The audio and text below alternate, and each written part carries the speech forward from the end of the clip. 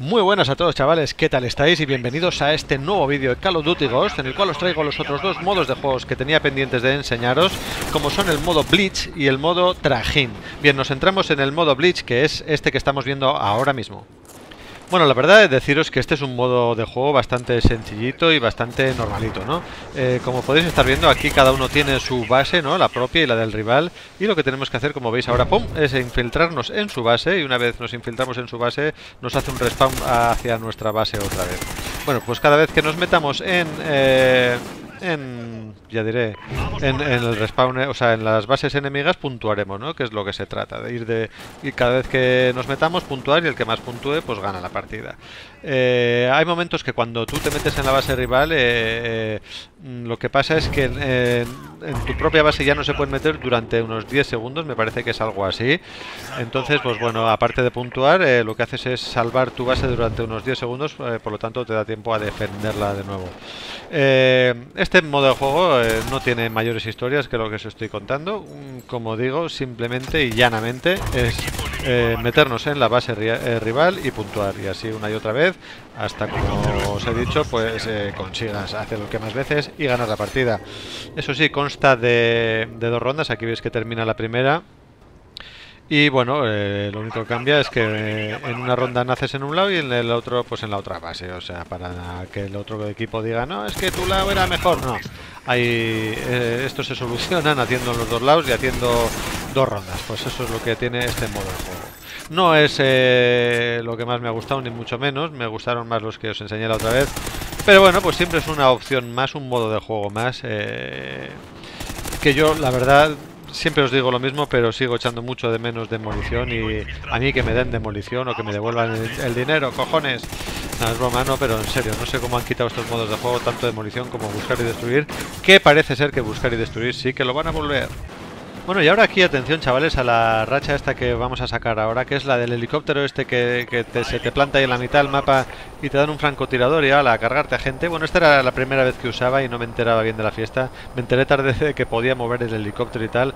Aparte, pues me metió en una zona que no sé por qué, no, no, no, no había prácticamente enemigos y no, y no vi a casi nadie. Ese que lo veo y, me lo mata otro, ¿no? Como os digo, pues esto, puedes moverte por el mapa con el helicóptero limitadamente, no exactamente donde quieras.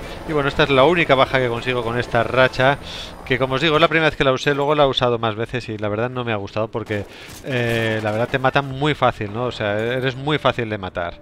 Y bueno, hasta aquí el modo Blitz. Pasamos al siguiente que, bueno, vamos a ver la, la baja final y tal. Y el, siguiente modo, el cual vamos a ver, es el modo, eh, este que empieza ahora, que es el modo trajín. Bueno, pues nada, chavales, ¿y en qué consiste este de...? Ah, bueno, antes de deciros nada, es la primera vez que usaba aquí esta escopeta, eh, ahora no me acuerdo cómo se llama, F26 o F no sé qué, no me acuerdo exactamente cómo se llama, y bueno, es un poco tipo a la Remington y tal, eh, de cartuchos como veis ahí, eh, bueno, parte bastante bien, sí que hace hitmarker evidentemente si estás a un poquito de distancia, pero bueno, mm, lo que pasa que ocurre, para mí en este Call of Duty los mapas son horrorosos para las escopetas porque son muy grandes, tienes zonas muy grandes y muy largas y las escopetas, hostia, estás vendido la mitad de las veces. Bueno, eh, a lo que vamos, modo de juego traje. ¿En qué consiste esto? Pues básicamente es una baja confirmada. Eh, como veis, matas y tienes que coger su, su, chapa y tal. Pero, ¿qué pasa? Pues que las chapas estas las tienes que llevar, como veis, hay dos puntos en el mapa. Y pues entonces las tienes que depositar en los puntos estos. Porque si no, eh, por muchas chapas que cojas, eh, no, no valen de nada. O sea que hay que coger las chapas y aparte luego hay que confirmarlas en estos dos puntos del mapa. Y, y chimpún, chavales, esto es lo que tiene este modo de juego. Como os digo, es ya pues básicamente una baja confirmada con con la cuestión esa nueva que efectivamente hay que confirmar la baja, ¿no? Aparte de matar y confirmar cogiendo la chapa, tienes que confirmar entregando la chapa en el, en el depósito donde te toque, ¿no? Y eh, también deciros que si tú haces cuatro chapas, ¿no? Matas a cuatro y te matan, eh, bueno, no pasa nada excepto que te matan, ¿no? Quiero decir, las chapas las sigues conservando y cuando renazcas pues puedes ir y entregarlas. Y lo de siempre, eh, pues aquí eh, gana, ¿quién gana? Pues gana el que, el que, ya diré, el que antes entregue y confirme las 65 chapas.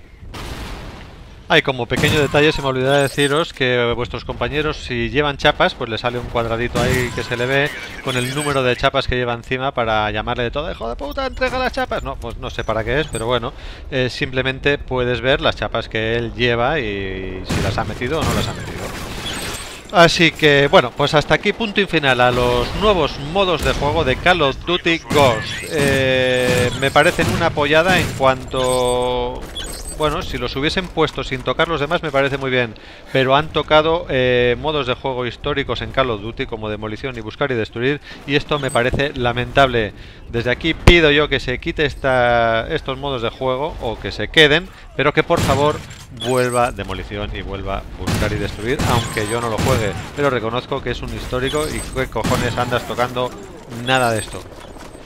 Hay una cosita antes de irme. Ayer subí, subí un nuevo vídeo de Soldado Panzer, que hacía tiempo que no lo subía, esta vez en Battlefield 4, pero YouTube anda ayer anduvo muy mal y se publicó mal el vídeo, en algunos casos se publicaba bien, pero en otros no, y os pediría por favor que os pasarais a verlo, porque bueno, siempre es un vídeo que...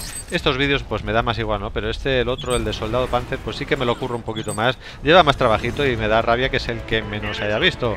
O sea que os lo dejo en la descripción, pasaros por favor a verlo.